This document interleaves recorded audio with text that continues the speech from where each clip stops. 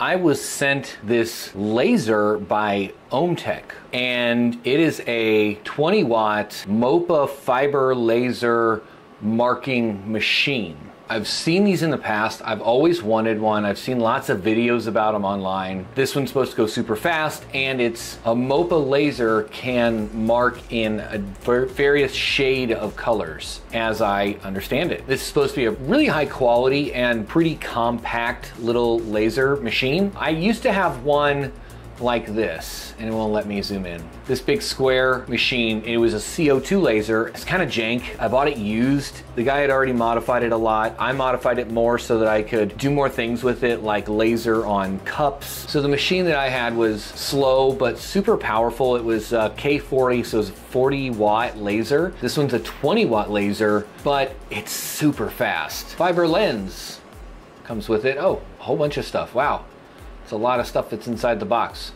Well, I'm gonna do an unboxing video. I don't need him to do it for me. Let's see, 20 watt laser, 100,000 hour lifespan. Hell yeah. 0.3 millimeter cutting depth in a single pass. Interesting. I wonder how deep I could go. Hey, that's what she said. It's about a six by six working area, so it's not very big. It's pretty small. A 1064 nanometer laser wavelength. I don't know what that means, but I'll find out. 0.1 millimeter accuracy, EasyCAD 2 included.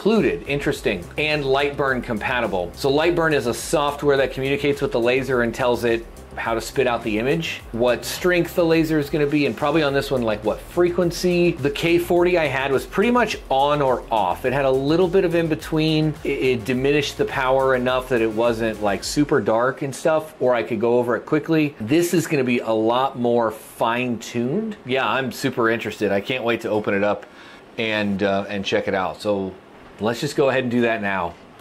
All right, so this was sent to me by OMTech 20 watt MOPA fiber laser over 15 kilograms, says team lift. Realistically, this thing's probably, probably 30 pounds.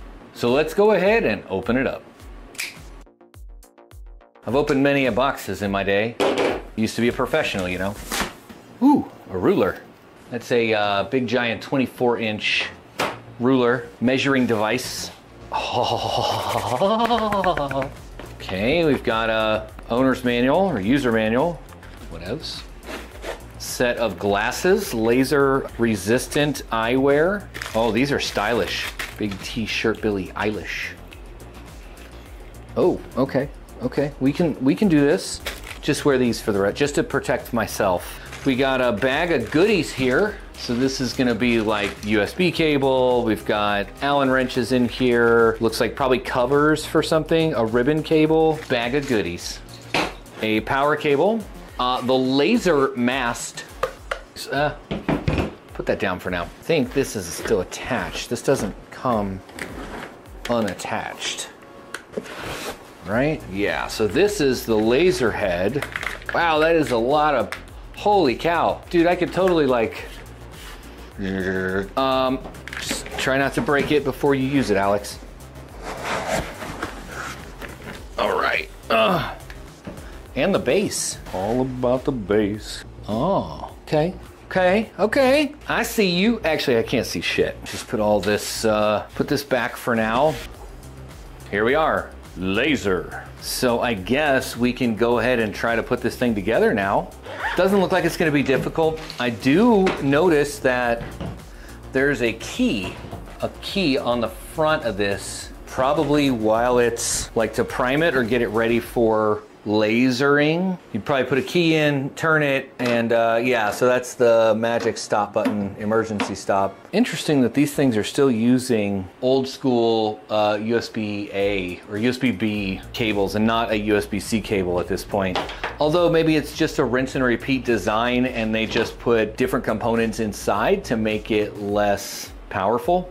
These are not assembly instructions. All right, so it looks like there's four screw holes here on the base, on the top, and two screw holes here. I'm assuming it goes like this, and then the laser head goes like this. Is that right? It's probably right. Oh, this uh, table sucks. Oh, nice. Wow, yeah, you don't see that. Look, all the Allen keys are on their own little, uh, little key ring here. Pretty nifty. Comes with a flash drive, an 8 gig USB flash drive. We'll have to see what's on that. Couple screws, uh, screw down the base. It's the first thing I, I should engrave with this. I think I might still have some old blanks. When I sold my K40, I gave the, the woman that bought it pretty much everything I had. Like the laser, I had a chiller that I made from a tabletop ice maker, which was pretty fucking genius in my opinion. Okay, and this is kind of annoying. For, oh, I know what these are for then. Okay, this is a weird way to put this together. It should be a, a more like a quick connect almost. I don't know. I also wonder how much this thing's actually gonna be moved around after it's set up. Probably not much. Probably once you get it pretty dialed in where exactly the head sits. Because there's a lot of different mounting holes under here. These are all mounting holes. So you could really take this thing like super far forward or super far back, I guess depending on what you're doing with it, like what you're engraving or cutting, that could come in handy. So this piece at the top of the tower here is a, uh, a hand crank. Bring it down and bring the head down or up so you can adjust it to be at the right height for what you're engraving. Oh, and there's a rotary axis button on the front. So these things, these guys are going to be like guides. So depending again on what you're cutting, you can put guides in place so that nothing moves. Whatever you're engraving on and you line it up and it'll be the same place every time, which is important when you're engraving, especially if you're doing making items to sell or my items for people to customize.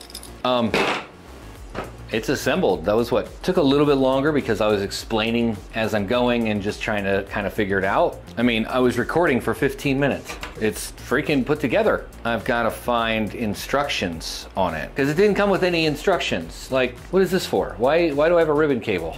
Yeah, so on the back of this, we've got like a grounding cable if it's needed, your power input with a power switch, a rotary axis input, a foot pedal input, like a dead man switch, I guess would be a good name for it, and then the USB input and the cable loom of doom that goes up to the uh, to the laser head and then a fan. I wonder if this thing's pretty loud when it's running. So this is good to know we're looking at, uh, that's the model number LYF20JWS. 20 watts and it runs on 110 only. So I can't plug this into 240 that's good to know. 600 watt power consumption no shit when it's running. 150 by 150 millimeter uh, work environment workspace. 1 to 4000 kilohertz laser frequency. Huh that is freaking sweet. So what should be my first laser engraved thing with my new fiber laser. What do you think? All right, so I plugged in the USB stick and uh, this is what was on it. A CAD software, really. So easy CAD. Ooh, interesting. Hold on. Yeah, we're gonna go ahead and pull this back out of our machine now. because as I was looking at this, I had a virus scan pop up and said, threat found. and when I just pulled it out of the machine, it said we couldn't fix it or something. Anyway, I'm gonna go ahead and just leave this out of my machine. Maybe the software isn't signed or isn't recognized by Defender as a, a legitimate app and it considered it malware of some kind. Hey, Future Alex here. I actually took this thumb drive and stuck it in a different machine, scanned it with Malwarebytes, scanned it with Defender that comes on Windows and Sentinel One, and it's fine. It was just a false positive, I think.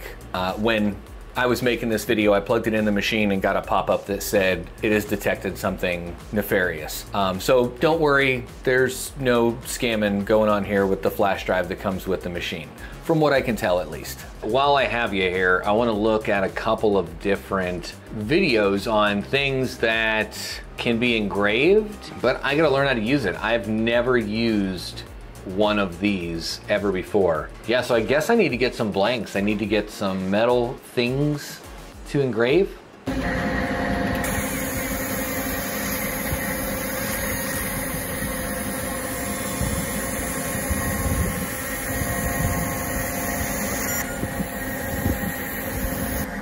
I mean, we all know what that is.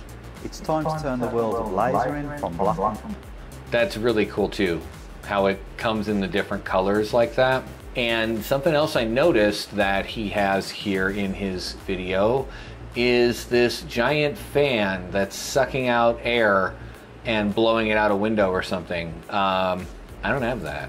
I don't have it set up at least. I've got it set up on some crypto miners, kind of drawing heat away from them. But yeah, I should probably do that, huh? Leave a comment down below. Let me know what you think would be really cool to see engraved with this machine. I know all I did was take it out of a box and look at it. But now I get to learn how to use it, which means I get to turn around and show you how to use it and show you some of the cool stuff that it can engrave and do with this laser. There will also be links down in the description description or in the pinned comment on where you can pick up one of these lasers. I've got a discount code as well. Uh, Geek will save you, I think, 5%, or maybe it's 10%. If you made it this far in the video and you learned something today, hit that thumbs up button. It really helps the channel get recommended out to others. And if this is the kind of video that you like to see, consider subscribing for more like it. And uh, make sure you subscribe to see all the fun stuff that we get to do with this. And of course, thanks for watching.